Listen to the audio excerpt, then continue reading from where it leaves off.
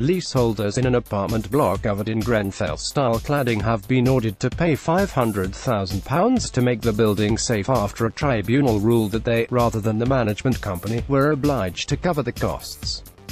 The ruling, which could be challenged, means leaseholders of the 95-apartment cityscape complex in Croydon, South London, may face a £2 million bill, which some have said would force them into financial ruin. The building is owned by the family trust of the multi-millionaire property mogul Vincent Tchenguiz, but the case was brought by First Port Property Services Property Management Company, seeking clarification on who should pay. Soon after the Grenfell Tower fire it was estimated that the cost of replacing the combustible cladding was about £500,000, but it later received estimates that the cost could be up to £2.4 million. Leaseholders had insisted that replacing the cladding should not be added to the service charge as it was not a matter of disrepair, because the cladding remains as designed and constructed, and it did not fall under periodical expenditure. One resident, Richard Lofoon, told the tribunal he needed a miracle to fund the works as his father was ill and could not sell his flat because of the risk the building carried for any future investor. He is in hospital because of all this. It got too much for him, he said. However, the chairman of the London Residential Property First Tier Tribunal, Angus Andrew, ruled against the leaseholders, insisting they should pay because, if the manager is obliged to do work, the tenants are obliged to contribute to the cost although they remain entitled to dispute the reasonableness of the cost.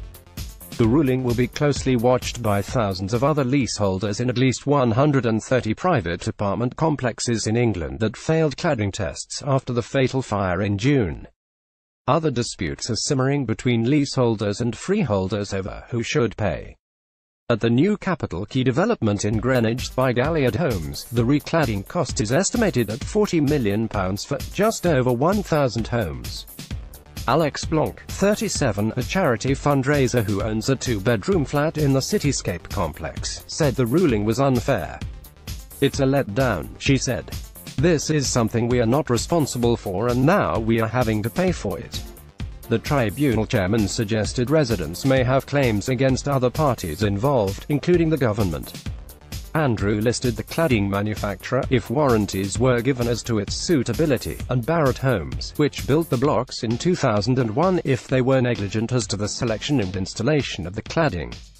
He said leaseholders could mount legal challenges against the London Borough of Croydon, if there were errors in certification process.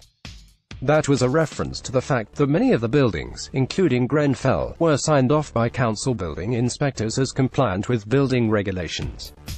Andrew also said leaseholders could challenge central government if the building regulations were not fit for purpose but he added that no claims could reasonably commence until Sir Martin Moore-Bick's public inquiry into the causes of the Grenfell fire had reported, which was unlikely to be until 2019.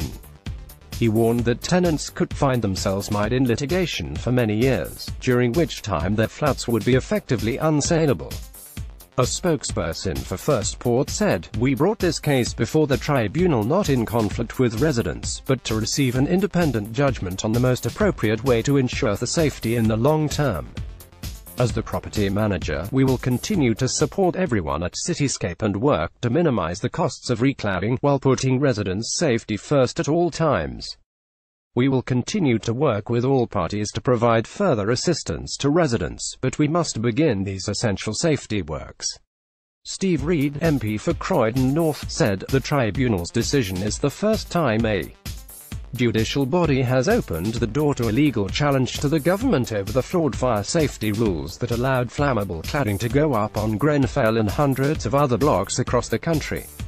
The government has consistently claimed the flammable cladding on Grenfell did not comply with the rules, but last week we saw a certificate authorizing a similar material that was signed by the government's chief advisor on the fire safety of buildings.